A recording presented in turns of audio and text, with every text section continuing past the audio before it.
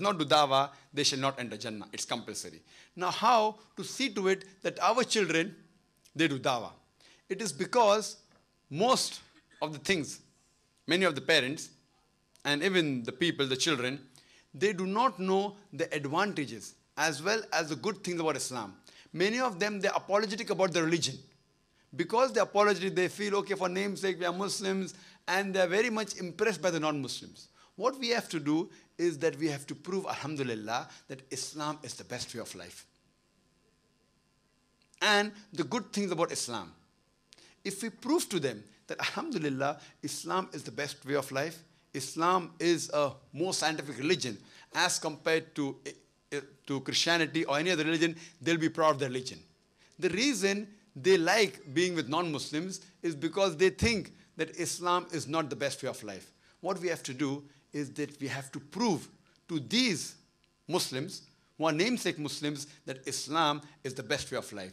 So we have to let them read certain books like Islam, which proves that Islam is the best way of life, Quran and modern science, and prove to them that Christianity is not the best way of life, that if you read the Bible, Bible is against science and technology.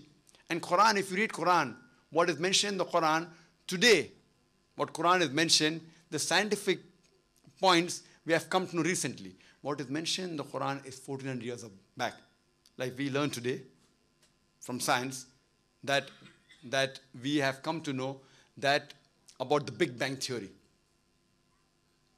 How did the world came into existence? And what is mentioned in the Quran is 14 years back, which we came to know recently, maybe 50 years back, 100 years back. We previously did not know that Quran, that, that today the world is spherical in nature.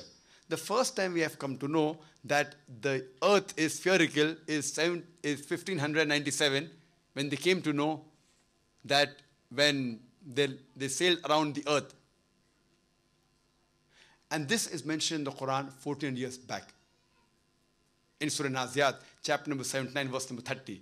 Previously, we thought that the light of the moon is its own light. Recently, yesterday in science, 50 years back, 100 years back, we have come to know that the light of the moon is not its own light, but it's a reflected light. Now, this is mentioned in the Quran 14 years back. Previously, we thought that the light, that the sun, that the sun was stationary. Recently, we have come to know that the sun rotates about its own axis. In school, we have come recently, 50 years back, which is mentioned in the Quran 14 years back. So when we tell them that Alhamdulillah, Islam is a scientific way of life, which is far superior than any other way of life, then they'll be proud to be Muslims. Unfortunately, we feel that Islam is not best way of life if we tell our children that it's the best way of life and prove to them that Islam is the best way of life, inshallah, they will proud to be Muslims. And we have to talk to them about books regarding dawah, etc. And then these children of us, they'll be proud to be Muslims and they'll convey the message to the non-Muslims also. Hope that answers the question. Jazakumullah khairan. Before we finalize uh, and conclude the program, uh, I'll request all the brothers and sisters to remain seated uh, for, for next uh, five to ten minutes. Can I ask uh, Brother Yusuf Chambers uh, to come up here and literally within three minutes say what he has to say, please? Assalamu alaikum, brothers and sisters. Thank you very much for being patient tonight. I need to remind you and reiterate upon what the scholars have said tonight about giving dawah and supporting dawah, supporting this work. Dawah doesn't just necessarily mean, by the way, going out, putting a table and putting lots of books on top of it and sitting in uh, Small Heath here and waiting for the non-Muslims to come. Dawah can be supporting the people who do that work. It can be putting money in a hat or a bucket. It can be, you know, writing a letter and complaining about you know, Islamophobia, which we see in this country at the moment, you know, and which we've seen, in, in fact, uh, you know, in this country for years and years. So before you leave, you will find some people collecting in a device, a bucket, I don't know what it is, I haven't seen it. And it's to pay for this event. And if, on the face of it, you may see this event as just another event. But there's something quite special about this event. It's quite unique. In fact, we have one organization from India, the IRF. We have one which is based in London and is doing extensive dawah work, uh, the CRC. And we have IPCI, which you all know and love probably. And we have Muntada al Islami. So this is four organizations. We've heard a lot of questions tonight and comments and observations made by the by you, you know yourselves regarding uh, you know people being uh, splintered, you know, scattered in this dawah. We have four organizations tonight who said no. We are going to make ta'awun, we are going to make cooperation, we are going to work together in this, in, this deen, and we are going to put this message forward for the whole of the humanity, particularly as we're living in a non Muslim country. And there are 80, 90% of the people in this country, I was one of them 12 years ago, that don't know the first thing about the purpose of life.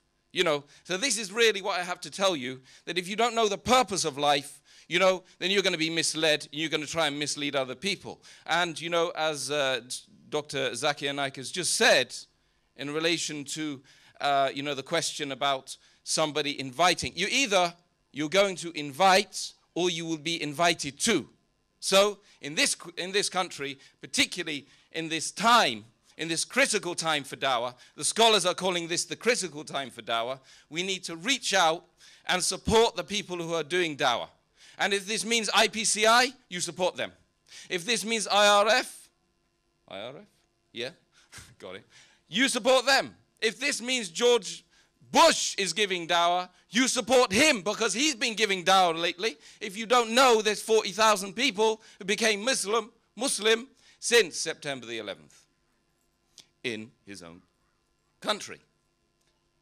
I happen to know in the last five years in the prisons, 5,000 5, Muslims in the prisons. 1,571 people took Shahada in the last five years with no dawah in the prisons. So, why is that? Why is that? Is that because you guys got up and told them? Is that because you visited the Muslims in the prisons? Is that because you exhorted one another, uh, you know, another to, to, to the righteousness, to patience and truth? Or is it because we just sat down and did nothing? Because this is the reality, brothers and sisters. Right now, we're sitting and we're doing nothing. We're sitting and complaining and moralizing and doing nothing. And then we expect that who's going to pay for this hall tonight, for instance? We just expect that somebody else, oh, don't worry, there's probably a businessman, he'll pay the bill, 3,000, 4,000, whatever it is. I don't know what it is, but I'm telling you that if each and every one of us commands the good, forbids the evil, says that we're Muslims, and is upon the righteous way, and we put one or two pounds in that bucket tonight, Allah subhanahu wa ta'ala will increase it. The barakah will increase, and we will maybe have money to pay for three halls, or four halls, or maybe ten Zakir Naiks. Inshallah. So, I don't know if I've said that too forcefully, or whether I've said it from my own desires, but I do love this deen. I know it's the only way I know that communism has failed the world. I know that capitalism has failed the world. And I know Islam is the only way forward. And that is clear. Even the non Muslims are saying this. If you listened the other day and you would have seen Yvonne Ridley or heard her, may Allah help her, on the radio station defending Islam. Defending Islam. And she's a Muslim so she can defend Islam. And the non Muslims were phoning in, defending her.